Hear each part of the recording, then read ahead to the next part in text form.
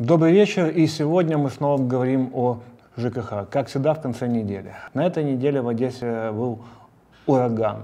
Ему даже дали имя Юля.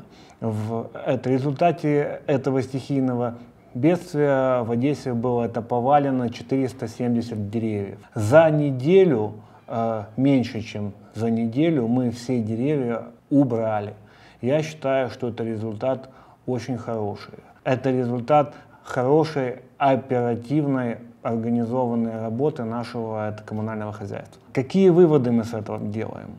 Э, первый и наиболее важный вывод – это то, что э, ту карту, которую мы начали делать в декабре месяце, это карта наших зеленых насаждений, это действительно верное и необходимое решение. Мы сможем намного быстрее и, и оперативнее реагировать на подобные ситуации а также на оперативную работу и перспективное развитие зеленого насаждения, зеленых насаждений нашего города. Хотелось бы рассказать сегодня еще о нашей новой инициативе, наш новый пилот. Силами департамента мы выполняем ремонт, э, мы выполняем это капитальный ремонт в э, многоквартирных жилых домах нашего города, где департамент является заказчиком этих работ.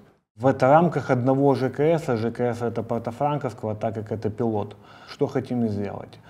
На этапе составления сметы и по, по технической документации этим будет заниматься департамент, специалисты департамента. Но на этапе э, выбора подрядчика мы будем руководствоваться мнением жителей дома. В первую очередь э, выбор подрядчика останется за ними. Да, мы дадим те необходимые технические условия, которые должны быть. Мы дадим ту нормативку, которую должен выполнять и который должен соответствовать этот подрядчик. Но выбор подрядчика останется за жителями города, за жителями этого дома, где будет выполняться ремонт.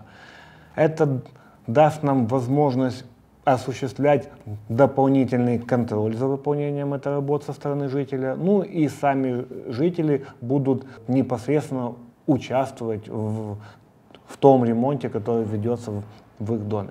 Я думаю, результат должен быть это положительный. И если он таким будет, то э, в дальнейшем мы э, этот опыт будем это размножать на весь город. Если есть это какие-то вопросы, замечания и это пожелания, как всегда, вы можете их оставлять в личных сообщениях. Мой Facebook веду я сам, поэтому на все стараюсь отвечать вовремя. Видимся через неделю. До следующей недели. До свидания.